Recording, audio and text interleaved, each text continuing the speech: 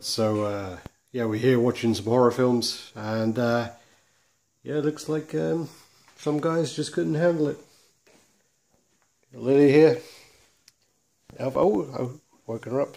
Oh, she's not going to be happy. There you go, Lily sleeping away. Hey, baby. Go over here, and we got the little puppy, and uh, yeah, he's doing the same. Neo man. Should we wake him up? Let's go, let's wake him up. Come on. Now I'm going to probably get hate mail for waking up dogs. and now his eyes are rolling. He's in zombie land. There you go.